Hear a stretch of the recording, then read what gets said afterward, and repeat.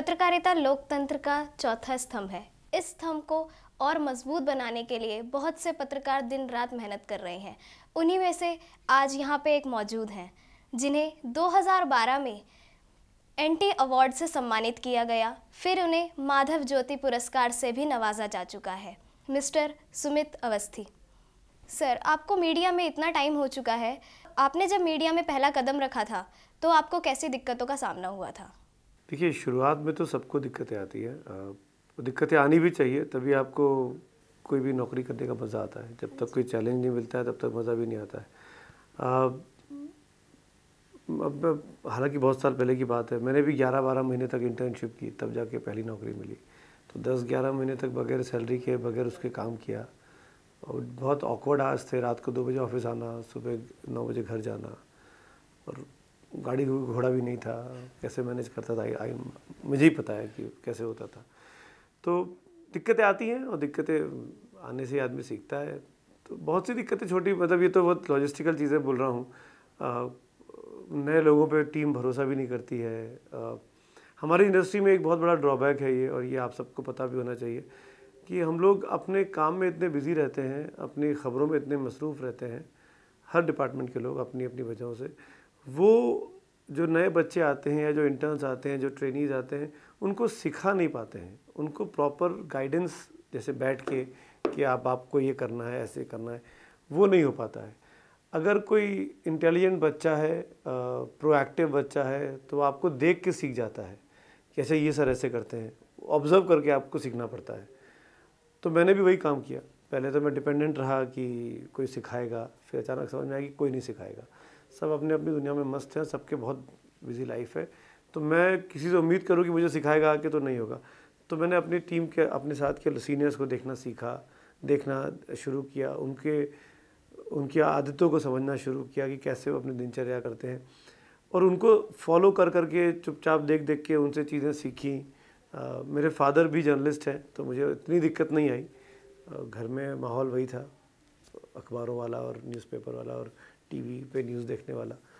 तो आ, मेरे लिए शायद आसान हुआ पर जो लोग उस बैकग्राउंड से नहीं आते हैं हाँ उनके लिए काफ़ी चैलेंजिंग होता है। तो ये एक दिक्कत है। सर आपका शेड्यूल इतना हेक्टिक होता है तो आप कैसे अपनी पर्सनल और प्रोफेशनल लाइफ को मैनेज कर पाते हैं?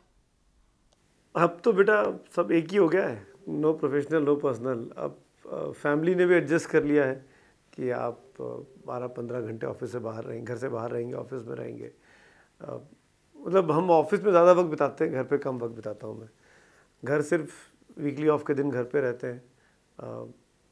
तो वो एडजस्ट हो जाता है। हालात बना देते हैं, वक्त बना देते हैं।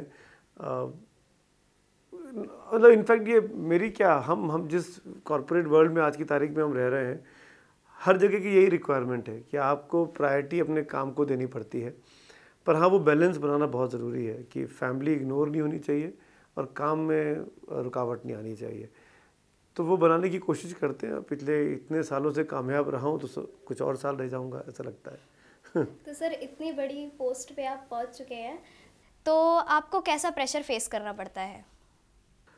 हर तरह के फेस प्रेशर होते हैं भावना स्टोरीज़ को लेके कवरेज को लेके क्या ऑन एयर जाएगा क्या ऑन एयर नहीं जाएगा उसको लेके ये भी होता है कई बार कि किस खबर को कितना दिखाना है या कोई खबर दिखा दो तो इस खबर को मत दिखाओ वाला प्रेशर की, अरे ये क्यों दिखा दिया, इसको हटा, इसको उतरवा लो, इसको हटवा लो।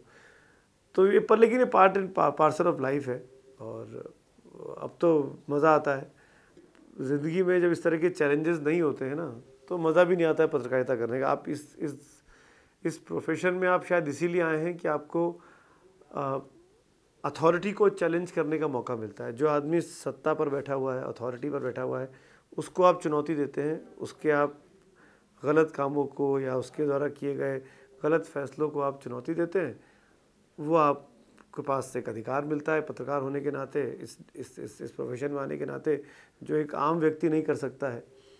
और आप डंके की चोट पे सवाल पूछते हैं और प्रूफ करते हैं कि आपने जो किया वो गलत किया या आप जो कर रहे हैं वो ठीक नहीं कर रहे हैं।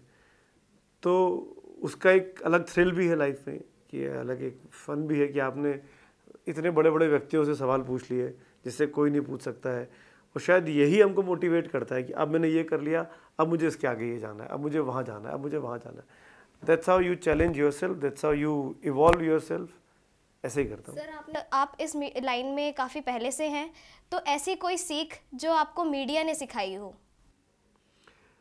अ, एक चीज़ जो मेरा अपने जीवन का मूल मंत्र है वो सिंपल सा है कि सादा जीवन, बिल्कुल, और झूठ नहीं बोलना।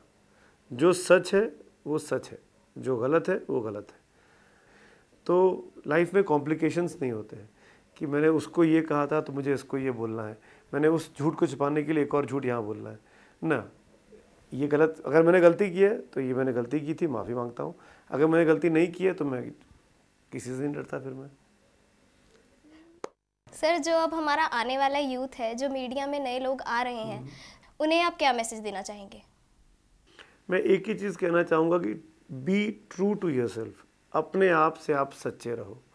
आप ये बात मान के चलो कि जब आप रात को सोने जाओ बिस्तर पे लेटो तो आपके मन में ये गिल्ट नहीं होना चाहिए कि आज आपने कोई गलत काम किया है। या आपको नींद नहीं आ रही है कि मैंने फला गलत काम किया था और अब मैं कल पकड़ा जाऊँगा। वो बेचैनी नहीं होनी चाहिए। अगर आप सच्चे हैं, सच्चे मन से काम कर रहे हैं, सच्चे मन से चीज़ों को डिलीवर कर रहे हैं, रात को सुकून की नींद आएगी। अगले दिन सुबह जो टेंशन होगा वो यही होगा कि मैं आज शाम को प्राइम टाइम में किस टॉपिक पे डिबेट करूँ। आज मुझे क्या करना चाहिए? बस इतना ही इतना ही टेंशन लाइफ में काफ़ी है और बाकी टेंशन नहीं होने चाहिए। सर, आपका बहुत बहुत धन्यवाद। हमारी सौभाग्य की बात है कि आज हम आपसे मिले और आज आपके सामने सवाल कर रहे हैं। उम्मीद है कि आ, हमारी आने वाली युवा पीढ़ी भी आपकी सीख को अपनाएगी। चलिए मेरी तरफ़ से शुभकामनाएँ हैं आपको। इसी के साथ मुझे दीजिए इजाज़त। नमस्कार।